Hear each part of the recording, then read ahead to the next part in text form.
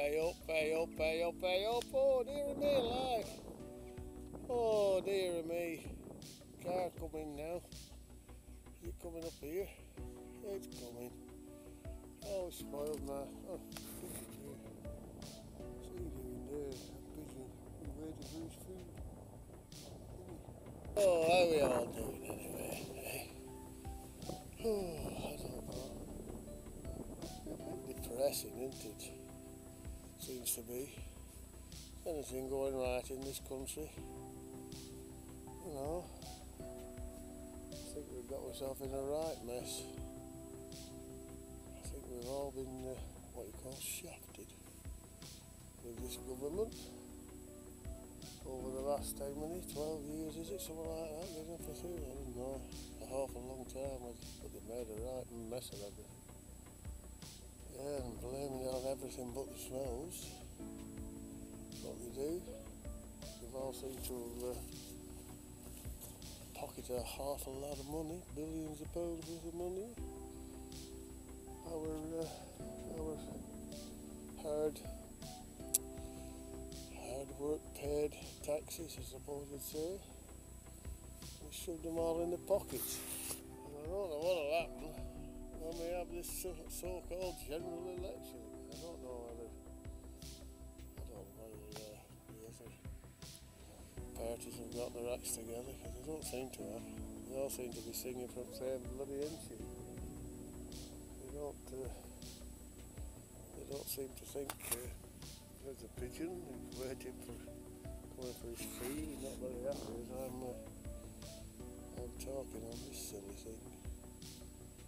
Yeah, they don't seem to know what what to do. All they seem to be bothered about is uh, making their policies sound good to everybody. And you can't please everybody try and please everybody, you end up pleasing no, nobody. But we've been through it all before. We just have to keep struggling on. I just feel sorry for all these youngsters who are just starting out on their family lives and whatnot. It's so bad for me, an old bugger like me. I can manage, been through it before. Working seven days a week for long. Anyway, cowling this morning again, promising a lot colder to come on Monday, Tuesday, something like that. The 5th of March today. March many weathers. Anyway, I'm going to go now, carry on my walk, and uh, check out all the wildlife. It's about the only thing that's free in this country now.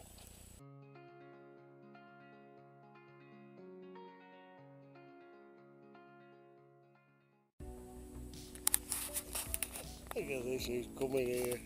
Look at this. Look at this. That's little Margaret, that. You felt like you're not supposed to say little Margaret because it's derogatory terms now, but she's small in stature. she's small in stature, Luke.